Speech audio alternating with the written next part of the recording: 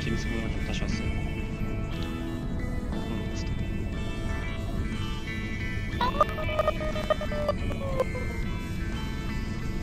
응? 마이크가 나오는 거야 아니면 뭘 마시? 마시고 있다고요? drinking. 술을 못 마신다고요?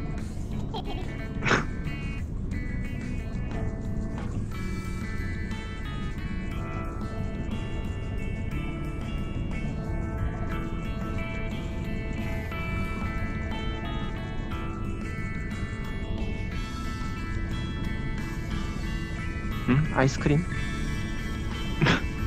스크림? 아이스크림? 무섭다?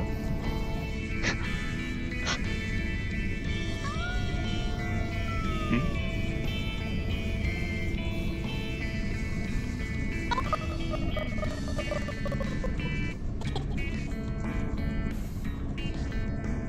응? 아니 뭐 제가 술을 못 마신다고요?